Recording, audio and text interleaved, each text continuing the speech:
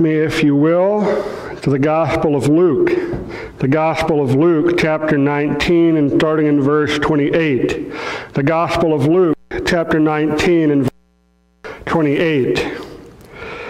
And when he, he being Jesus, had said these things, he went on ahead, going up to Jerusalem. When he drew near to Bethphage and Bethany at the mount that is called Olives, he sent two of the disciples, saying, Go into the village in front of you, where on entering you will find a colt tied on which no one has ever yet sat. Untie it and bring it here.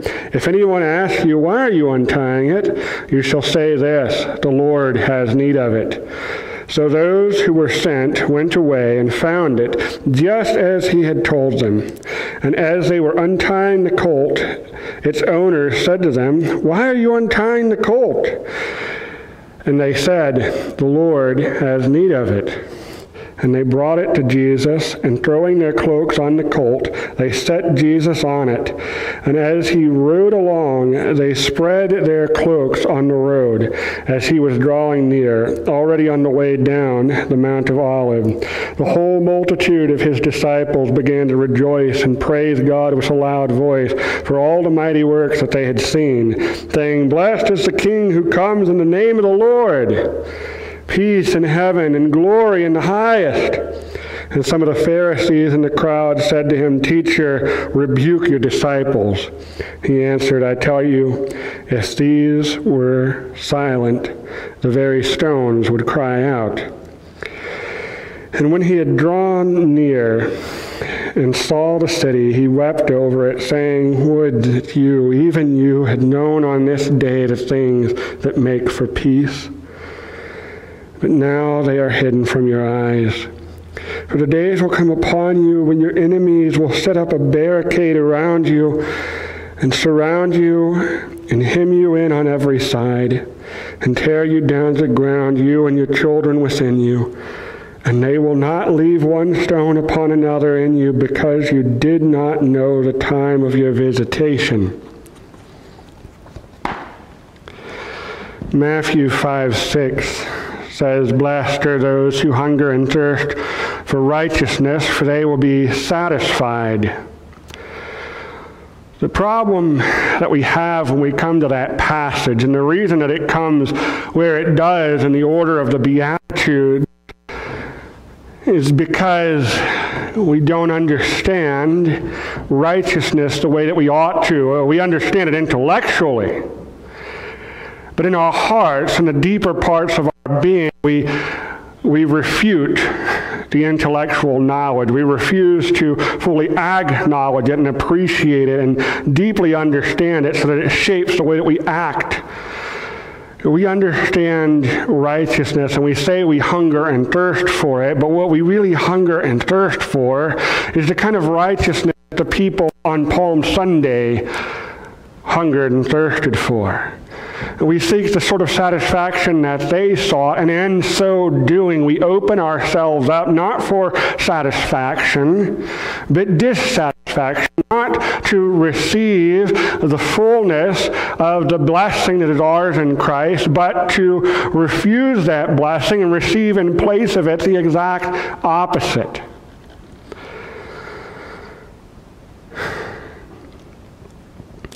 In this time, in this place, the message of Palm Sunday needs to inform our understanding of the Beatitude. Let us pray. Father, you know the weakness of this hour. You have foreseen all of this, and you have made preparations well in advance, and you have determined what shall and shall not be. You have made plans that are greater than the plans of men. And while the plans of men have faltered and failed in every conceivable way, your plan goes on. Lord, have your way. Let your will be done. You know what is right. You define what is right.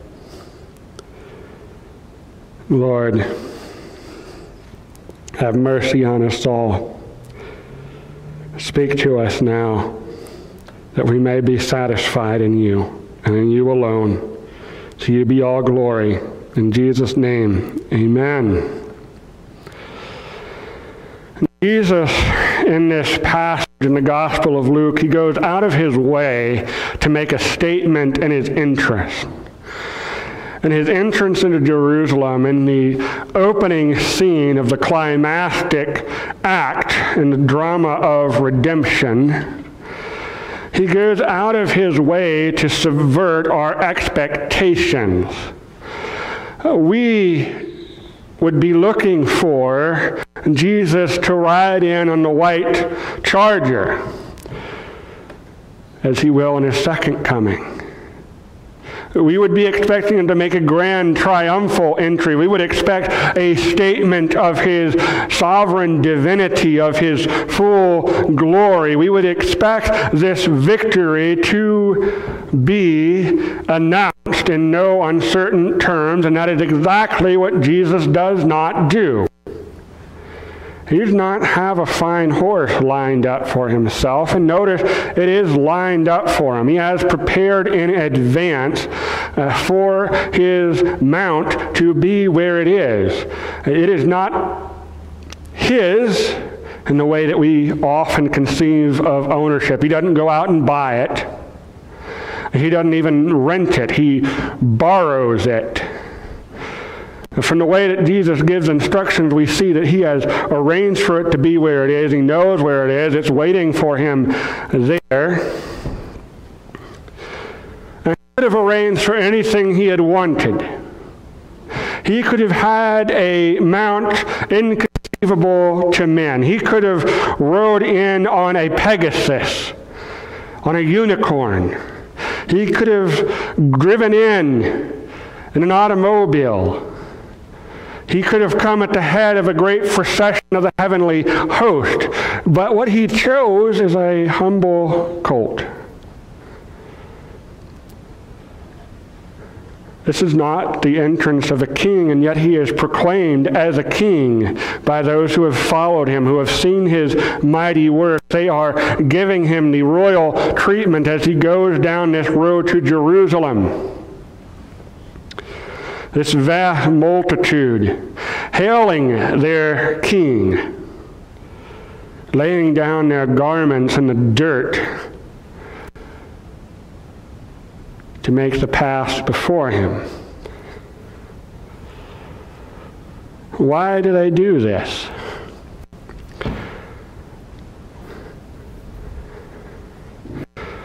Would like to think that it's because they hungered and thirsted for righteousness, that these are honestly and earnestly the same people uh, we see back in the beginning of the Gospels, back with John the Baptist who are coming out to hear this message of repentance and to repent through this act of baptism to give outward sign of their inward condition. They would like to turn back to God and to have a totally new beginning with Him. We would like to think that, that is what's going on, but we know the rest of the story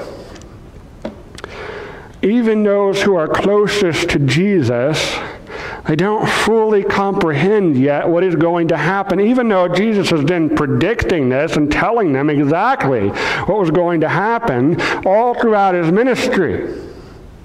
Uh, there is nothing there that would lead them to look for what they are looking for. There is nothing in his ministry that ought to make you think he is going to charge into Jerusalem and throw out the foreign powers that were and all of the other corruption in the governing bodies of that city and set himself up and to create a kingdom like the kingdoms of the earth, only more glorious. He's told you, he's told you so often that is not what's going to happen here back in Matthew 5 in the Beatitudes, he is telling you, He is subverting your expectations. He is telling you this is not going to be what you're thinking about. This is not going to be what you imagine. You're not living the good life when you're healthy and wealthy. You're living the good life when you're poor in spirit, when you are mourning over the brokenness around you and inside of you, when that brokenness leads you to be meek and humble before God and before men, when you hunger and thirst for righteousness, and righteousness as defined by the only righteous one. This is what they get wrong. This is what they get wrong on that road. They're happy to see Jesus, but they're not really seeing him for who he is. Not yet, not entirely. They don't see the coming triumphs for what it is.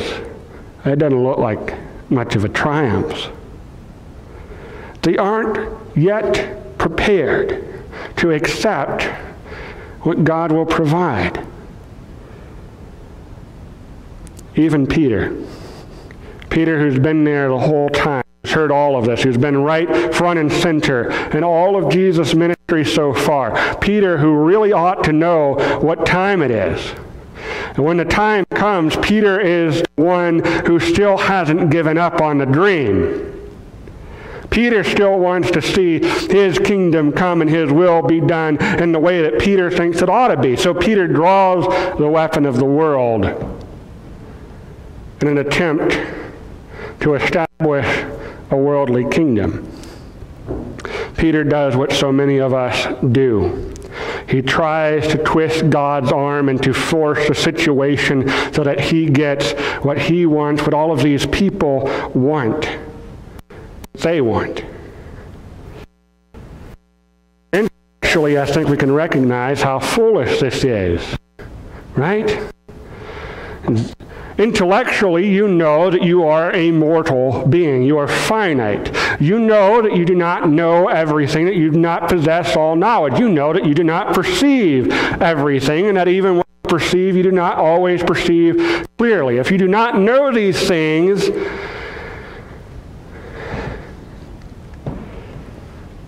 And it's only because you have not taken the time to work past the evils of self deception.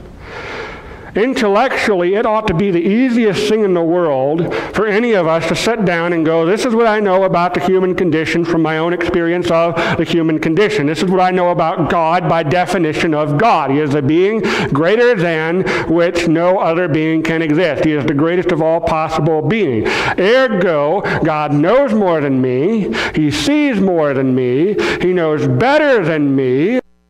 That's a different thing from knowing everything.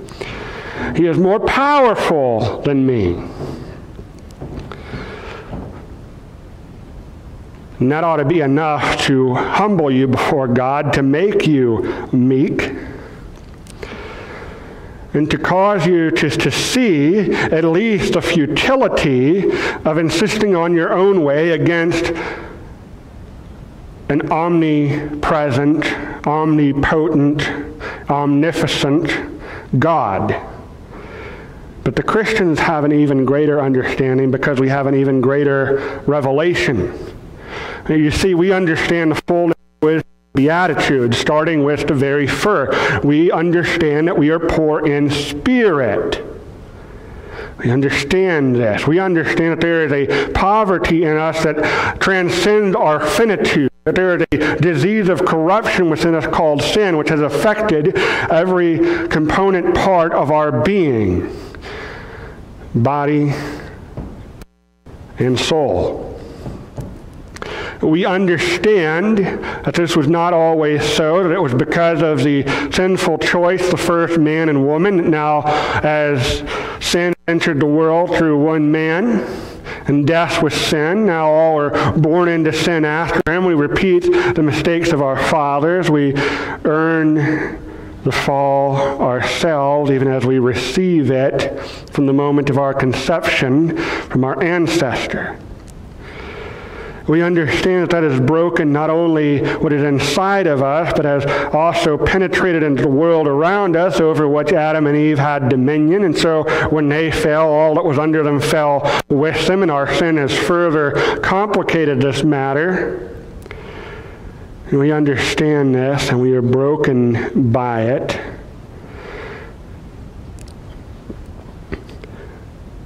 And so we have an even greater humility. So ours is not simply a humility of the lesser looking up to the greater. It is the humility of a debtor looking up to the one to whom he owes the debt, an unpayable debt. But we have an even greater revelation than this. And this is the revelation that Palm Sunday is pointing us toward. This is a revelation that has come to realize. This is why this is the opening scene of the climactic act of all of human history. Because just as sin entered the world through one man, so too, through Jesus Christ, the answer to sin, redemption, grace, life more abundant and free, only through him. He is the way, the truth, the life. No man comes to the Father except through him. There's only one name given among men under heaven by which we must be saved. So many places it points us back to this. And so we have the humility of one who is in debt. The wages of sin are death. We have earned death, and not just the death of the flesh, but the death of the spirit for ourselves. But God has given us a gift in Christ. He has released us from that debt. He has made the provision we could never make. And so our position of humility before God is unparalleled. There is no way anyone should be more humble we are in relationship to God, and being so humble in relationship to God, we also ought to be humble in relationship to each other and to the world outside.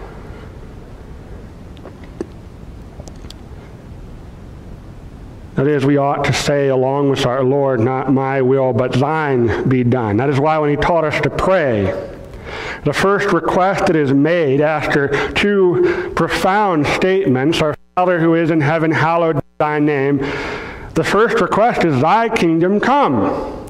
Then thy will be done on earth as it is in heaven. The first statement is a statement, the first request is a request of humility. The first statement is also a statement of humility. The first request is a statement of humility, a request in humility, putting ourselves in subjection under God, and yet so often this is what we do not do. We do not do this. Because while we can acknowledge intellectually our place in relationship to God, even as Christians, somewhere deep, deep down in our hearts, we still act and think as though we had something to contribute. As though there were something that we could add to this, as though we really actually knew what was best for us. So we could come to God and uh, say to Him, God, we need you to establish this kind of kingdom. We need you to do it now. We need you to do exactly this in this situation. This is the only possible thing. Forget all the other things that you had going on. We don't care about those. We want you to do exactly this, exactly now, and exactly for these reasons. We act like this, and then we wonder as the church is falling apart. You've taken the foundation out from under us. You do this all the time, we do this. We do it in small ways in our own lives. Lord, this is what I want. Give me this, give me this, give me this. I want it, I want it, I want it, I want it. We've built whole systems of theology around that. Liberation theology, prosperity theology, the New Apostolic Reformation theology, which is really just prosperity theology under a new guise. Even those of us who wouldn't prescribe to one of those schools, when push comes to shove, we do the same thing. Right now, push has come to shove. It has shoved us out of the meeting places. It has shoved us out of physical assembly and onto the internet, those of us who were set up to do that, and the rest of us are scrambling to catch up. And in that scramble, so many of us have gone into pronouncing, this is, this is good, this is pretty good, we're still doing church. No, you're not. You have no right to say that. You do not get to define what church is. You do not get to define how church is done. And people make the argument, well, they didn't have the technology back in the first century. Irrelevant. It's irrelevant. God knew everything. He knew what technology we would have. He knew that this crisis, this pandemic would be upon us. He knew all of these things. And he could have put in the Bible very clearly that if we watched the video online all at the same time, it was the same thing. But he didn't. He did not give us that.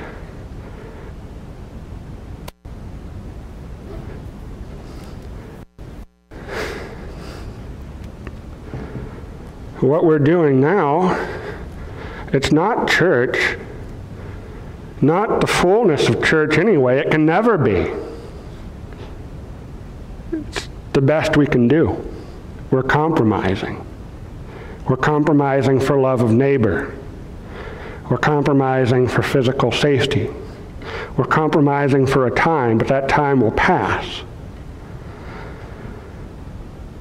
We don't get to change our theology. We don't get to rewrite the Bible based on circumstances. We don't get to say today, oh, yeah, being online is just the same as actually being in the pew In proximity to your brothers and sisters in Christ, it's just the same. And then tomorrow, when the crisis is past, turn around and go, well, actually, it's not the same. You need to come back in here. It, it never changed. Because we didn't define it. We don't get to make those things up. God does. And when we start making it up and we start compromising on what the Bible says, we have put ourselves above God. Even if we're doing it in a time of crisis, even if it's a response, we have to be careful. The way that this works is it starts off with a small compromise. It starts off with a, a little mistake here or there, an error, an oversight that reveals the nature of our heart, and then it starts to grow. We set a precedent, so then the next time we face a decision, we just go back to that precedent. We do the same thing. It keeps getting bigger and bigger until we've completely lost our foundation. We can do it as individuals, we can do it as churches, but we must not do it. Why? Well, we'll end up like Jerusalem did. Jesus comes inside of the city. He pauses and he weeps. He pauses and he weeps and he prophesies over the city it's going to be destroyed. It all happened in AD 70. You can read all about it in Josephus's historical works. It's quite riveting, in my opinion, to see how this comes about. Everything they were looking for. They got tired of waiting for God to give them what they wanted. That's what happens. They were tired of it by this time. They'd already tried a couple of times to do what they would do around AD 70. They try it again. They try to do it in their own power. They try to do it their own way. They try to get what they want according to their means. And what happens? Utter ruination, total destruction and devastation. A tragedy beyond imagination occurs. That's the result it brings. And that's what will happen to us. That's what will happen to us if we start leaning on our own understanding, if we start subverting the true righteousness, if we start saying that we are the definers of what is right and what is wrong, that we can make the rules, if we start acting that way, it'll destroy us. Surely, completely. Pastor, that verse is about Jerusalem specifically. We know the fulfillment of that prophecy. We've lived through it. We have the history that you just pointed us to. We know what that's about. That's not about us. No, it's not. But I think Revelation 3, where it talks about Laodicea, is. I think that is a grave warning to all the churches that begin to think that they are wealthy in their own right, that they see by their own light, that they are powerful in their own might. When they do that, they, they've ceased to be the church. They are ejected from the body of Christ by their own will, by the will of God. They become just like everybody else, just like the world. It's what the world does all the time. It's what they do every day. It's what they're doing right now. They're trying to get their way. They're trying to get their idea of right without bowing a knee. It's all about them. It's all about what they want. And if they bring God into it, it's just as a cosmic bellboy. Many people right now are very happy and rejoicing because the numbers are up on YouTube, the numbers are up on Facebook. We're, we're getting record views. People are praying and they're calling for prayer. Yeah, because they want something. They want something. And so the God that they never think about when they don't want anything, suddenly he's again. So, oh God, could you here a moment? Yes, this, uh, this disease that you have unleashed upon the planet. Could you, could you recall that, please? Yes, we didn't hear this. Please take it back. Good man. Blasphemy. Heresy.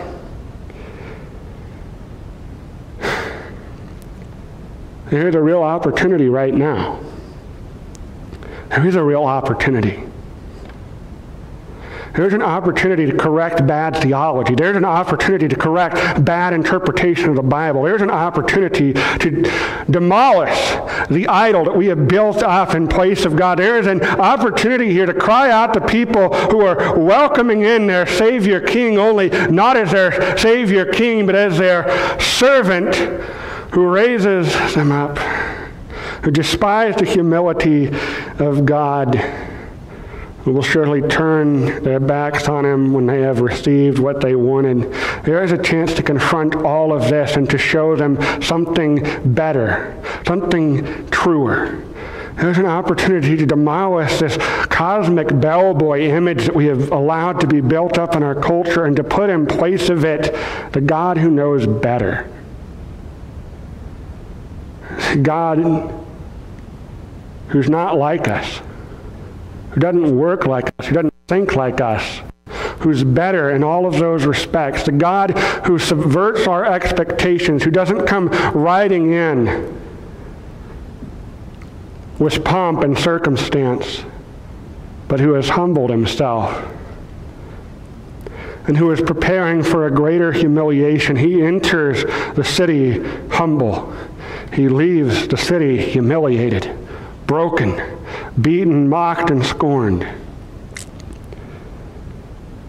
To his glory, but to our benefit. We have an opportunity right now to show people that God will give them what they need, and that that is far better than getting what they want. We have an opportunity to call people to hunger and thirst for righteousness. But before we can issue that call, before we can take advantage of the opportunity that is presented us in the midst of this and every crisis that has come and shall come, for this will be again before Christ returns, if he does not return in this moment. But if we are to seize those opportunities, we must first be right in ourselves and know what righteousness truly is. If we are to do the work of our Lord, then we must be humble before our Lord. If we are going to call a world to repentance, we first have to be repentant. We have to be different.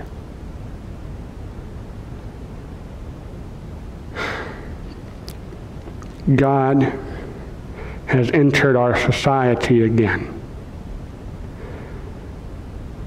He has never left. But at times like this, he makes himself particularly known. He makes himself sought out, even if it's for the wrong reason.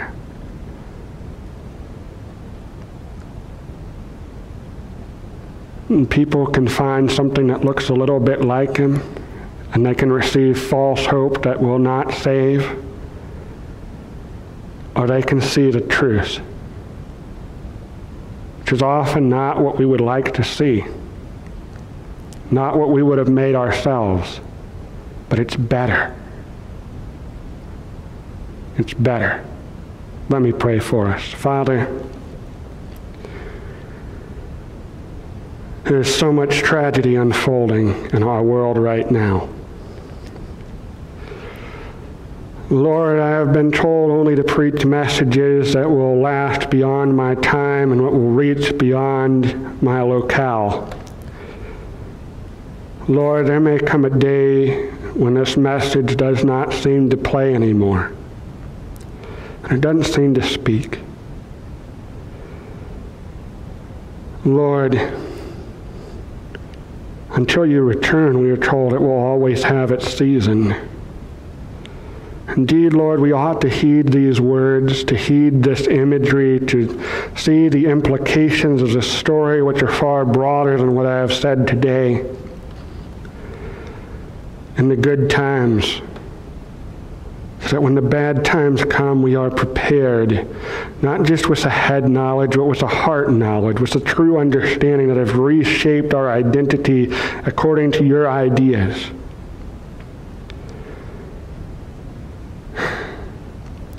Lord, I pray that you would encourage us, for we know we are not alone. There are many of your true servants who are hungry and thirsty for righteousness, and not their idea of righteousness, but your idea of righteousness, who have really submitted themselves to that, who understand and appreciate that your ways are higher than our ways, as the heavens are higher than the earth.